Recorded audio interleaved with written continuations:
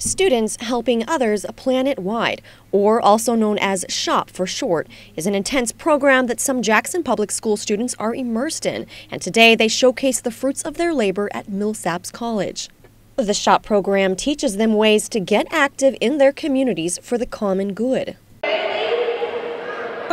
Really hope our students will uh, think out beyond themselves and consider others, not just in the community but worldwide, that we're all part of the same great big family and that they can help others.